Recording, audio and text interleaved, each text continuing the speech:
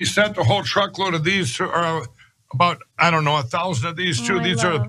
Bible pillows for the kids up there.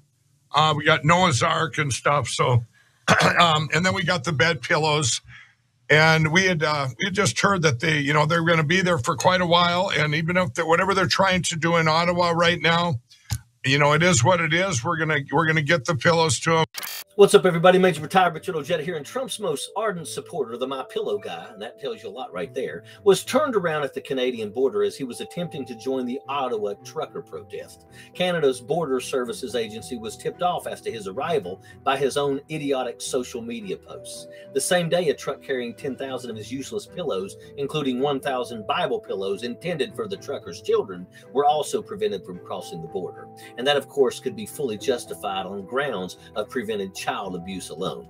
Mike Lindell is a pariah. He will attach himself to anyone or anything that will further his cause. Right now, his cause is twofold stay out of jail and avoid the mountains of lawsuits he is facing by Dominion. He is cooked, by the way. His lawyers are desperately trying to settle, and Dominion has told them to all go pound sand. And does it surprise anyone that Mike Dell tried to spread his crime streak up to Canada? The My Pillow guy has, of course, spent $25 million of his own money pushing the big lie, which is shocking because I can't believe people actually buy that cheap, useless crap from these late night infomercials. You know, you're watching some really lousy programming when the ads are of magic air neck pish- uh, pillows, red and green toilet seats, and sauna pants. Not only does Mike Lindell have a useless product that is literally no different than any other pillow, he makes a famously annoying host who will immediately remind you where the mute button is located on your remote. Trump and the My Pillow guy have near identical business models that they also carry into every other facet of their lives. Do absolutely nothing tangible to help society, sell hollow and utterly useless concepts that are nothing but scams, and con suckers into investing into your BS. So, of course, they believe the big lie had a chance of working because both these guys have been living and selling lies their entire lives. I mean, Bible pillows? Come on, what's the point in that? Osmosis?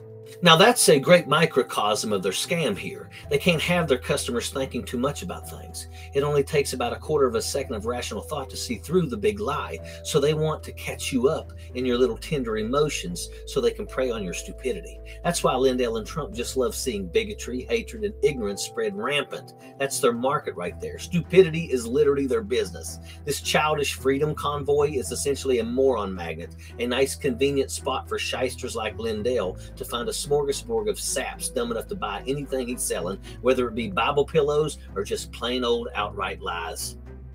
These ignorant truckers participating in the Ottawa blockade no doubt think getting a vaccine, even though every one of these morons has had plenty of vaccinations throughout their lives, is getting the mark of the beast.